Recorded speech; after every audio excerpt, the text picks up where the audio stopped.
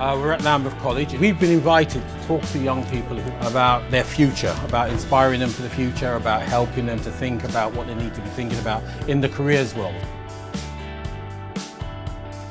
It's, it's actually been really, really good. So um, we've gone round to different groups. There's been two of us from employers, and then it's been a, like a real open forum. So it's been some really practical questions in terms of what these um, students can do to best prepare themselves for the world of work giving the experiences of when we were looking for work as well, what we learnt and some of the mistakes we made so they can benefit from the mistakes as well as the advantages. What we've been able to do is use our contacts to bring a wide range of businesses uh, and volunteers today. I think we had over 80 volunteers uh, from about 20, 22 businesses.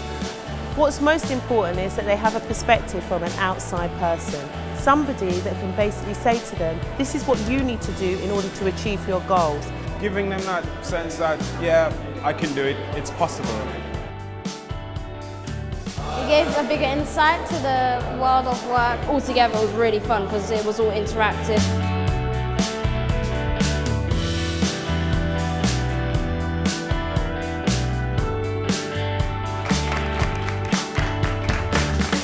This afternoon we're going to be doing role plays on interviews and critiquing those interviews and I think it's very important to get feedback.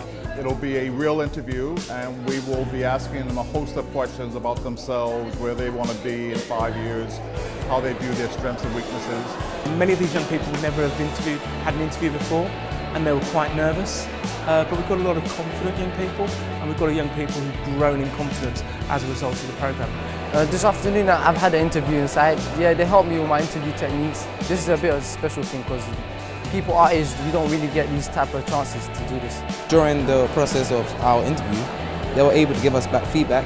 They were told us what we need to work on. They were, told us, they were tell us what went well. So we're really trying to simulate a real interview for them so that when they do have an interview, they'll understand how that process works.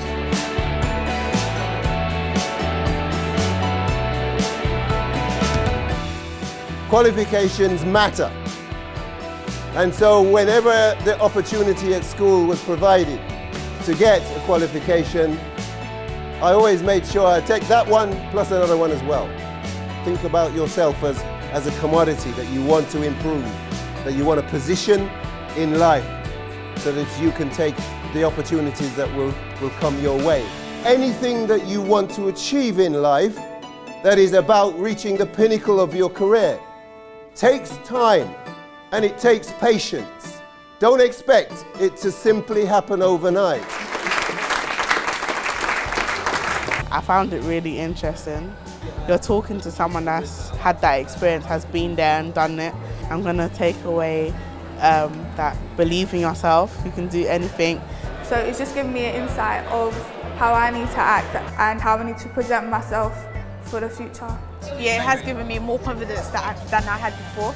It's basically encouraging people to work more so that they can become successful in future and how never give up in life in general.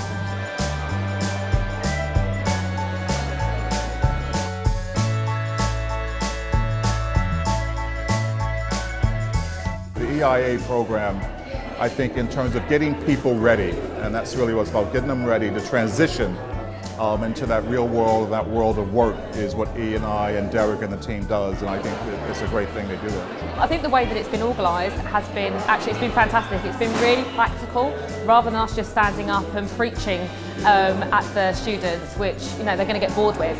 Um, it's been very, very interactive. So this is the second year that EIA have come along to help our students and it's been a very successful event, very well run by the facilitators and we want to continue this relationship because it means that we can work with entrepreneurs and inspire our students.